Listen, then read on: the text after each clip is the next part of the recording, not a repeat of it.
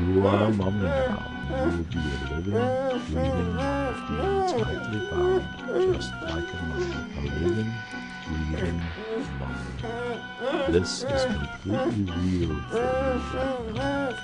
You are in bondage like a mummy and feeling all the emotions that this sets off in you, and you are powerless to do anything about it.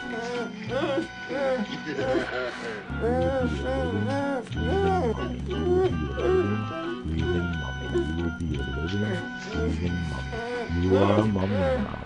You are a mummy now, being tightly bound, just like a mummy, being tightly bound, just like a mummy being tightly bound, just like a mummy. You are a mummy now. You will be